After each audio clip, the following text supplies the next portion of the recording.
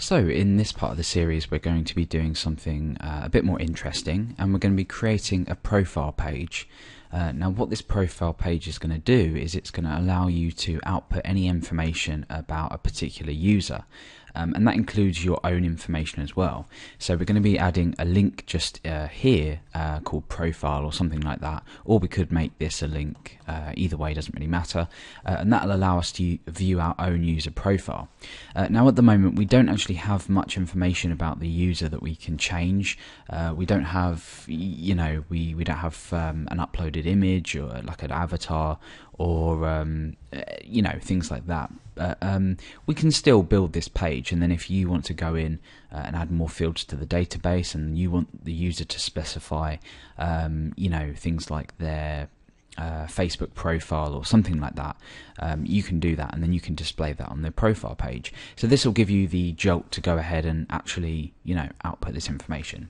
So uh, let's go ahead and start. Uh, return to the home page. Uh, the first thing we need to do is build up the profile page. Uh, I'll explain a bit about how it's going to work, uh, and then we're going to create the ability to uh, access different users' profiles like this. Uh, so you can see that um, you know my username is Alex. That's how I log into the website. So if I want to access a profile, I just do forward slash whatever um, page we're on. So it will be www.yourwebsite.com or whatever the domain extension is, forward slash, and then the user's name. Uh, and this is called a vanity URL, so I'll be referring to it uh, throughout the tutorial as a vanity URL. So we'll be able to access users' profiles like this, which is extremely useful because uh, if you run a, a, site and you say, well, yeah, you know, go access my profile, it's it's something.com forward slash uh, Alex. You know, it's a lot easier.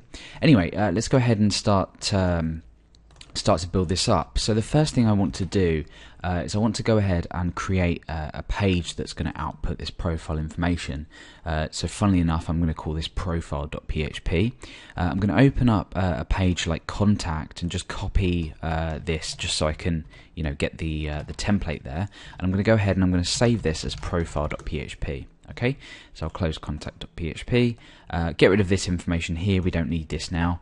Um, back to our page and we'll try and access profile.php and there we go. We've got a blank page with our uh, our design on.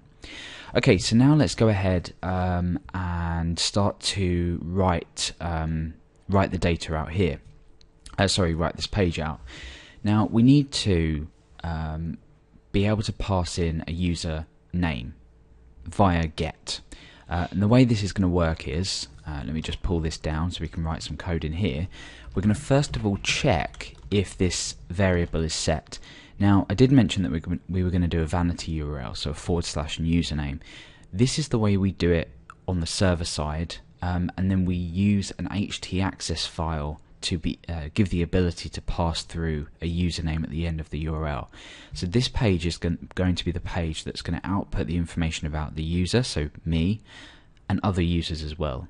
So if is set dollar underscore get username. If this is equal to true, um, and empty dollar underscore get username is equal to false. Do something here. That's essentially saying is this variable set, so we're not just accessing profile.php on its own, and the username mustn't be empty, so we must be specifying a username. Um, then we do something in here.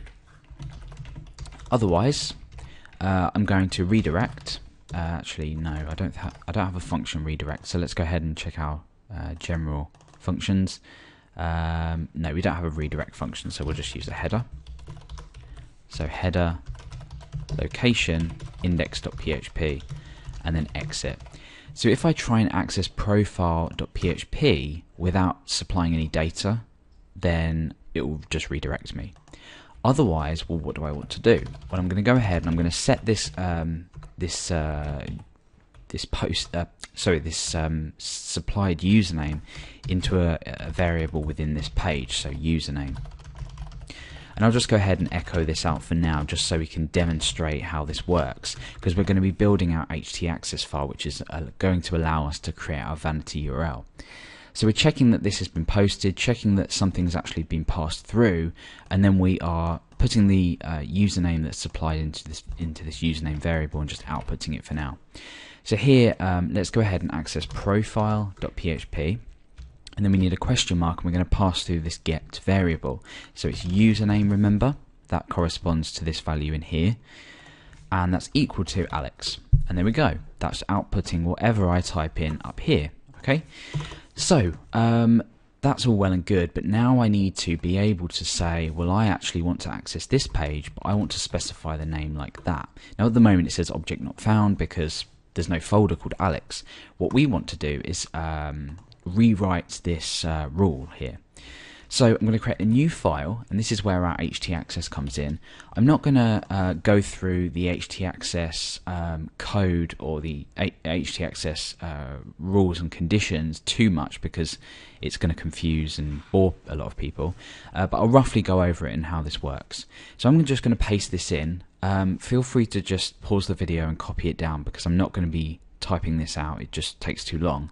Um, but essentially, um, I'll, I'll, try and explain what, what's going on here. So I'm going to save this inside my LR directory as .htaccess. It's important we don't put anything before this because we want it to save as an htaccess file. And this is how we save htaccess files. So if I press save, this is now in here .htaccess and you can see it's htaccess file. So make sure you're saving it as .htaccess and nothing else. Okay, so what's happening here is we're turning on the ability to rewrite this URL and, and pass through uh, different parameters, um, things like that. Um, here we're saying anything, anything after you know the forward slash in our um, in our uh, URL bar, we're going to take this value and we're going to append it here. So we've got dollar dollar sign one, which corresponds to this variable. Um, in LR2, for, uh, sorry, LR forward slash profile.php, which is the profile page that we've just created here, and we're placing this forward slash value into this username get variable. So take a minute to try and understand that.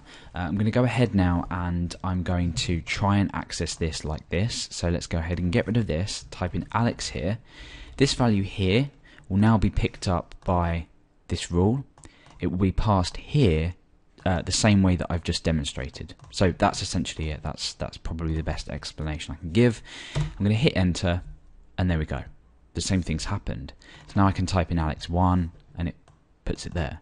So obviously, if you're using this in a root directory, so something.com forward slash Alex, you would just have it like that, and you would have profile.php in your root directory. So fiddle around with this, uh, and it's relatively straightforward to get the hang of. Okay, so now that we've done that, it's uh, it's all all good. So we can we can do a forward slash username and then display the information required. So I'm going to get rid of htaccess. We don't need that. Get rid of general. We don't need that. Okay, so what we're we going to do? Well, um, we have a lot of functions that we've already built uh, throughout the series that can deal with um, processing information, gathering information about a user, and then out we can easily output this information. And the way that we've structured this is going to make this page extremely easy to create. So there's not going to be much more code uh, on here than you already see. So I'm going to go ahead and I'm going to open, um, first of all, my uh, init file within core, because we're going to need that to demonstrate, and also my functions, uh, my users functions file, because we've got some functions in here that are going to be useful to us. So what do we need to do here? Well, we have a function inside of users.php called, let's just find it, user data. And uh, user data allows us to pass in a user ID and retrieve information about that user. And we can pass in which fields that we want to gather from the user as well. And remember, we do this in our init.php to allow us to access our information anywhere on whatever page that we're on. And we've, we've already looked at that, so you, you should be familiar with that. Now we can use this same function but pass in a user that you know isn't us uh, that we specify on this profile.php page. So at the moment we're specifying a username just because it looks nicer to the user. Otherwise we'd have to do something like forward slash 14 and you know that doesn't look great. We want to do it by username.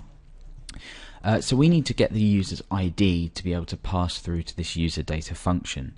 So I'm going to say user underscore ID is equal to.